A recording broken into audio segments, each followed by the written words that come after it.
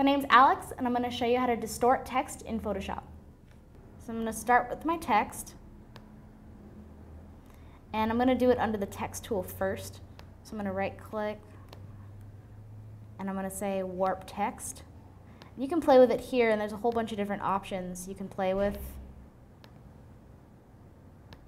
Um, but if you want to be more hands-on with your distorting text, you can go to the marquee tool, right click, free transform, and then warp, or you can, yeah. And actually, if you really, if you really want to get into it, you can rasterize your type, then right click, free transform, distort, and this is kind of fun because you can really play around with the angles a lot. Can make it look like it's going one direction, like so. My name is Alex, and this is how you distort text in Photoshop. Thank you.